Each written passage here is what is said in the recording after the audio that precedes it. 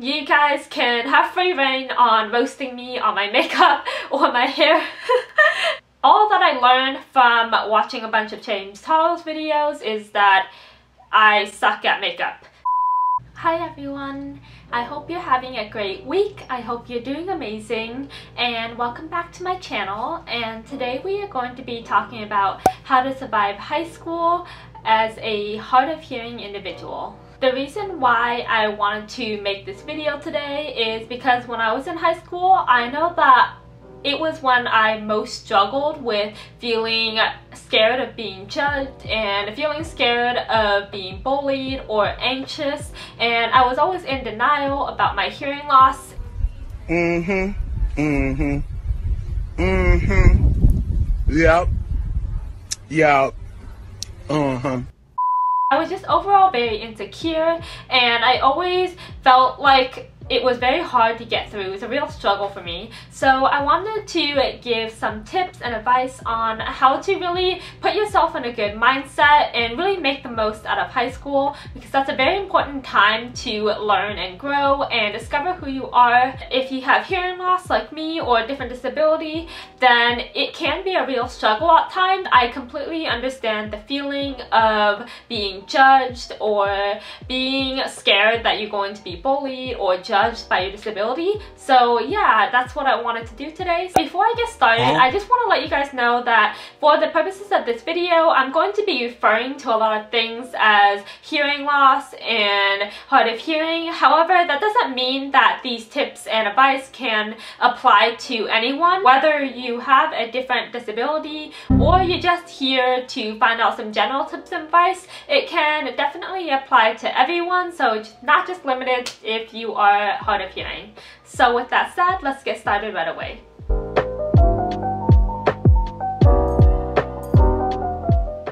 The first thing I want to talk about is being honest with yourself. So what does that mean?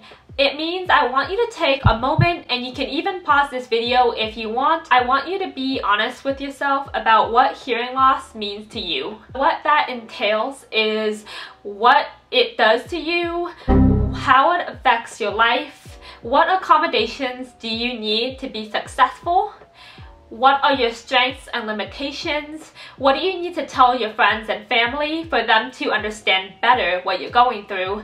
And really take a moment and be completely honest with yourself about what it really means to you and accept that as part of your life. So how can you expect other people to accept your disability or your hearing loss if you can't accept that yourself. So the very first step I feel like is important is to accept that you have this disability and really come to terms with it and know that it is something you're gonna have to deal with.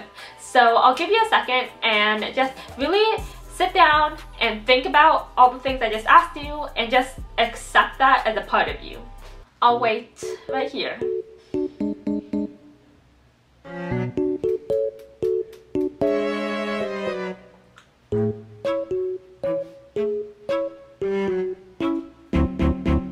A few moments later. Alright, are you good? Alright, let's move on to the next part.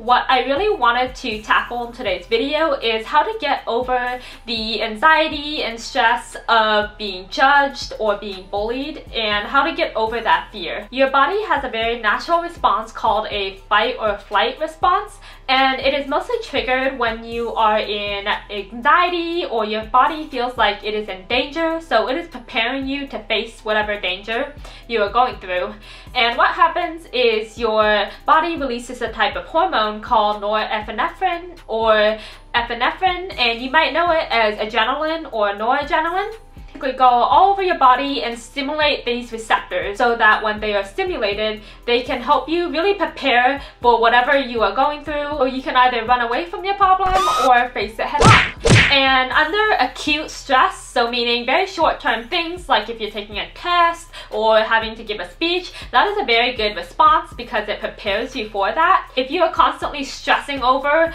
who is judging you or who is going to bully you potentially, then you are constantly stimulating this response and that can lead to very negative effects. And remember I said the receptors are all over your body, so it can do things such as suppress your immune system, suppress your GI system so that your eating habits change and you can experience weight gain or weight loss. It can really impact your brain so you can have trouble sleeping and it can really put you at risk for anxiety or depression. So over time, that can be a very bad thing. And what I want you guys to focus on today is getting out of that zone. Stop stimulating that and really trying to decrease your anxiety and fear of being judged. My goal today is really to help you develop a good mindset to really reduce that stress and anxiety and that fear of being judged. So the very first thing I want you guys to think about is who are you trying to have accept you? So who are you afraid of judging you? Who is it that you are afraid of? Is it a teacher? Is it a friend? Is it a certain group in a school or is it just strangers in general? And the next thing I want you to think about is what are you going to gain if these people accept you?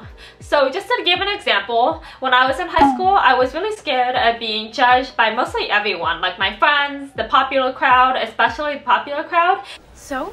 So that's against the rules and you can't sit with us. And I really took a moment to think about that. So what would I gain from being accepted by my friend and that is trust so if I told my friend this and they're going to accept that part of me then that means we developed a level of trust and that could be really good for a friendship however what if I'm trying to make the popular crowd accept me and I wasn't popular at all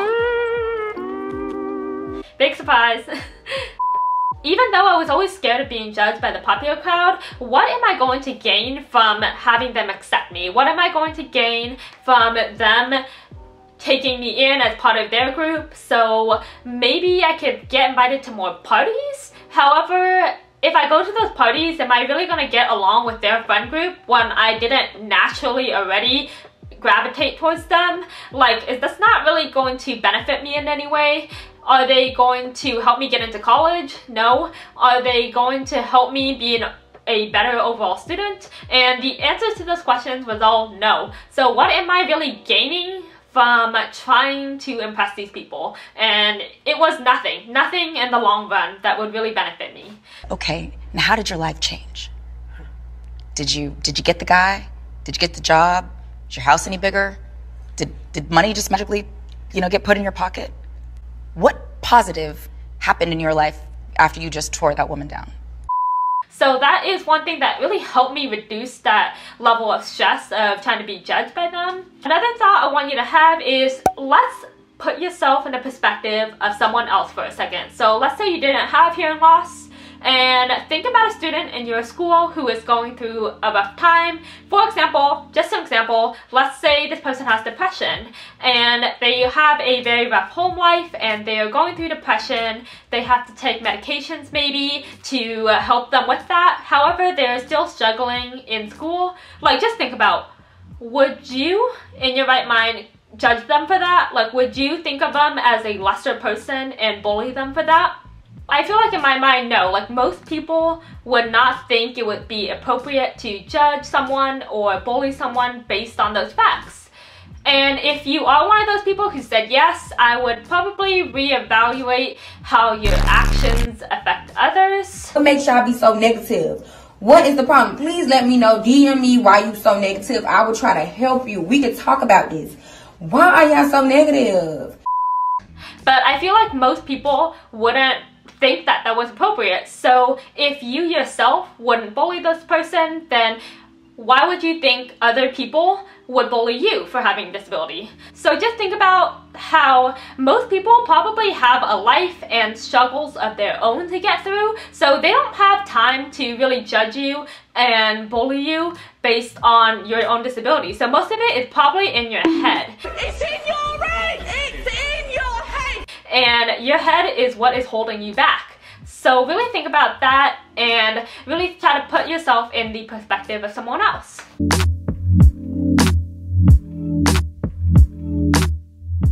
Okay, I'm going to slide into a different topic, which is think about how you can use hearing loss or your disadvantage to your advantage. What I mean by that is think about what kind of accommodations you're going to need and how you can obtain those. So for example, when I was in high school, I knew that I was very bad at hearing, so I couldn't hear sometimes when the teacher told me to turn in an assignment. What I did was every time beginning of semester, I would tell my teacher that I had hearing loss. And how they would help me is that they would place me at the very front of the classroom and have me there the whole semester. Even if they were randomizing other people's seats, they would always keep me in that one spot or let me choose my own seat so that I could be in the front of the classroom and be able to hear better. Another thing they would do is write the assignment on the class board so that I would have a visual cue to know when a deadline is and that way I wouldn't miss it. So what I'm talking about is thinking about what your accommodations are and what you need to do to obtain those if you have hearing loss, then that is something you need as an accommodation to help you be successful. So if those things can be offered to you, why not take it? And I just want to make it clear, I'm not saying taking advantage of your disability like taking advantage of other people. I'm not saying ask someone to do your homework assignment for you or ask for unreasonable requests like ask your teacher for a grade change. I'm saying think about your accommodations and really try to take advantage of what you can be offered and really try to get those accommodations for yourself because they can really help you in the long run. My next thing is latching onto those people who are really important to you already think about a friend, a family member, a cousin, a boyfriend or girlfriend, whatever, who you are completely comfortable talking about your disabilities to, and not just your disability, but anything, who you can tell about everything in your life and are not afraid of being judged or anything like that that you're completely comfortable with. And those are the people you want to focus on. So when I was in high school, I had a really good friend who I would go over to her house all the time and we would hang out. And whenever I hung out with her, my hearing loss wasn't even in my mind. Like it was in the back of my mind and she would never treat me any differently other than if she was trying to help me on something if I didn't hear. Focusing on those friends who make me feel confident, who make me feel good, who make me feel like just a regular human being who has a friend are the kind of people that you want to hang out with. So focus on that and it can decrease your anxiety about being judged because you're focusing so much time on the people who do make you feel good and who do make you feel confident that you're not focusing your time and energy on the people who are not. Just to clarify one more time, I'm not saying that you can't make new friends or you can't make new relationships. I'm saying put your time and energy in people who will accept you for your disability and don't waste it on people who are never going to accept it. So don't try to gain the approval of people who are going to judge you or bully you or anything like that. My last tip for you is to really focus on what your dreams are, what your goals are in high school, and it doesn't even have to be long term. Think about things in short term too. What do you want to get done today? What do you want to get done tomorrow, this semester, blah blah blah. So I'll just give an example. When I was in high school, I was taking four or five AP classes. I was taking college level classes because I really wanted to get into my number one university choice. I was on the varsity swim team, so I had to do that. I was on a club swim team. I also had to go home every day and practice piano because are you even Asian if your parents don't make you play a musical instrument when you're younger?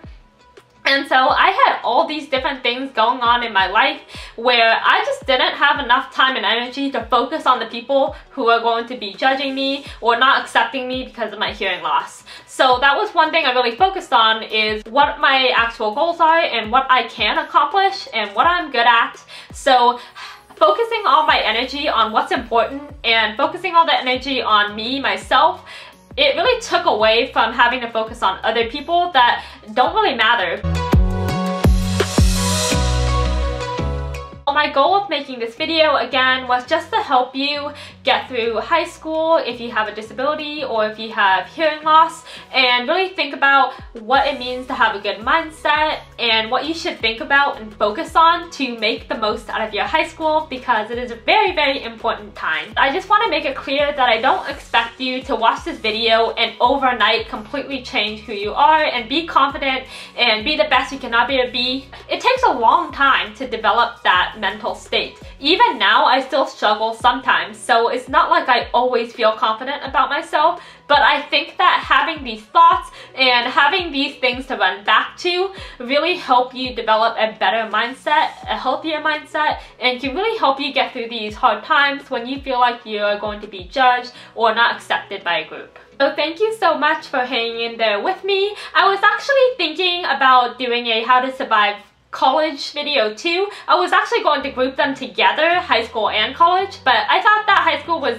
a bigger topic to tackle and I wanted to do college for another time. So let me know if you want me to do a video based on that. I would be happy to. Or if you want me to do something else, feel free to leave a comment. And as always, if you like this video, please give it a like. That would be really sweet of you. So yeah, thank you so much.